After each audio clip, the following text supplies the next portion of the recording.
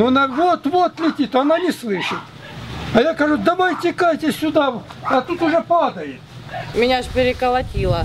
Ну, да, И дар речи пропал, я даже сказать ничего не могла. Думаю, ну, а потом, когда уже отсюда вынесли, уже потом, уже тут я не поняла, что это ребенок, а уже перед двором, когда положили, он вот эту шмайку с лица сняли, а то дитё было. Лет 15 мальчик. На улицу выбежали, тут за забор. Дедушка сделал шаг, и сразу возле него кусок упал самолета.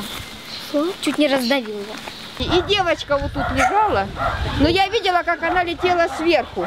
Вот так, летела, летела, летела, крутилась, крутилась, упала в соседки у моей Полины во дворе. Глазами она упала.